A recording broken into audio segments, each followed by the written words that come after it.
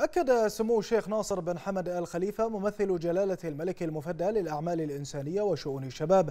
رئيس مجلس إدارة الشركة القابضة للنفط والغاز على مواصلة الجهود لتطوير قطاع الطاقة وجعل الشركات الوطنية في مصاف الشركات العالمية في هذا المجال. وأشار سموه إلى أن قطاع الطاقة في مملكة البحرين يحظى بكل الدعم والمساندة من لدن جلالة الملك المفدى حفظه الله ورعاه والحكومة الموقرة برئاسة سمو ولي العهد رئيس مجلس الوزراء حفظه الله. جاء ذلك خلال تفضل سموه بزيارة شركة غاز البحرين الوطنية بنغاز حيث كان في استقبال سموه الدكتور الشيخ محمد بن خليفة آل خليفة الرئيس التنفيذي بحضور سعادة الدكتور محمد بن مبارك بن دينة المبعوث الخاص لشؤون المناخ الرئيس التنفيذي للمجلس الأعلى للبيئة القائم بأعمال العضو المنتدب في الشركة القابضة للنفط والغاز. وسعادة السيد عبد الله بن جهاد الزين رئيس مجلس إدارة شركة نفط البحرين بابكو والسيد مارك توماس الرئيس التنفيذي للشركة القابضة للنفط والغاز والمهندس خالد أحمد عبد الكريم المدير العام للإنتاج والدكتور أحمد علي الكعبي المدير العام للشؤون الإدارية. وخلال الزيارة قام سموه بجولة تفقدية لمشروع مصنع الغاز الثالث في حقل البحرين الذي تفضل بافتتاحه صاحب السمو الملكي الأمير سلمان بن حمد آل خليفة ولي العهد رئيس مجلس الوزراء في عام 2019 والذي تبلغ سعته الإنتاجية 350 مليون قدم مكعب من الغاز المصاحب في اليوم لاستخلاص 374 ألف طن متري سنويا من سوائل غاز البترول المسال. حيث بلغت التكلفة الإجمالية للمشروع 645 مليون دولار أمريكي والذي يأتي ضمن الخطط التوسيعية والتحديثية في قطاع النفط والغاز وذلك ضمن المشاريع الاستراتيجية للشركة القابضة للنفط والغاز حيث يعد مشروع مصنع الغاز الثالث من أكبر المشاريع الصناعية في تاريخ بنغاز. موضحا سموه أن هذا القطاع الحيوي يشهد تنفيذ العديد من المشاريع التطويرية الطموحة التي تدعم مسيرة الاقتصاد الوطني وتسهم في مؤازرة جهود التنمية المستدامة في مملكة البحرين. ويأتي ضمن توجهات القيادة الرشيدة تماشيا مع رؤية مملكة البحرين الاقتصادية 2030 بهدف الاستغلال الأمثل لموارد الطاقة وذلك لضمان استمرار النمو الاقتصادي.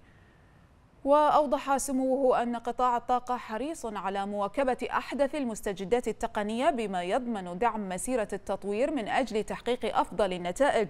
لافتا إلى أن مشروع مصنع الغاز الثالث يدعم التوجهات والرؤية الملكية تجاه هذا القطاع.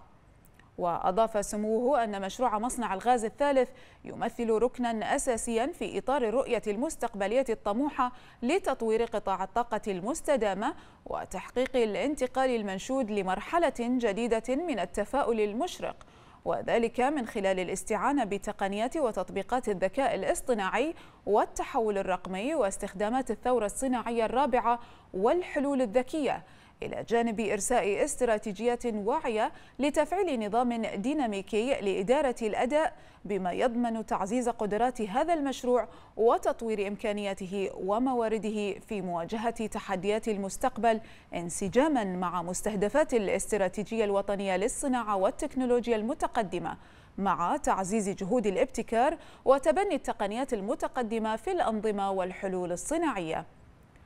بعد ذلك قام سمو الشيخ ناصر بن حمد آل خليفة بزيارة إلى غرفة التحكم بالمصنع الرئيسي حيث تم إطلاع سموه على أحدث التقنيات المستخدمة في غرفة التحكم المركزية التي تواكب أحدث ما توصلت إليه التكنولوجيا في مجال معالجة النفط والغاز.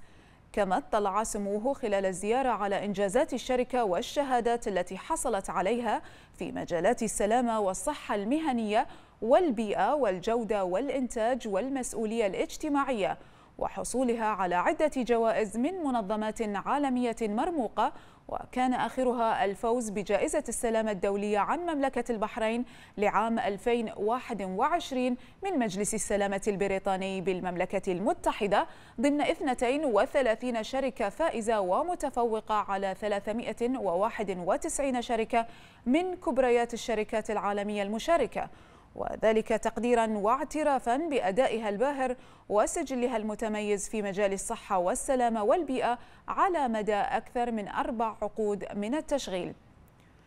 وفي ختام الزيارة أعرب سمو الشيخ ناصر بن حمد عن تقديره للشركة على حفاوة الاستقبال وكرم الضيافة معربا سموه عن اعتزازه بما اطلع عليه من مستوى رفيع على صعيد إنجازات الشركة والجوائز العديدة التي أحرزتها على الصعيد المحلي والإقليمي والعالمي.